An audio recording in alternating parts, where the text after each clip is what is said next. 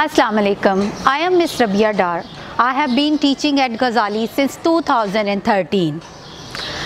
I came across AI and ChatGPT just a couple of weeks ago and it's as amazing as anything could be. The machine answers you within the blinking of an eye. And would you believe that? I have started writing my poetry book using AI. That would be published soon, inshallah. Thank you.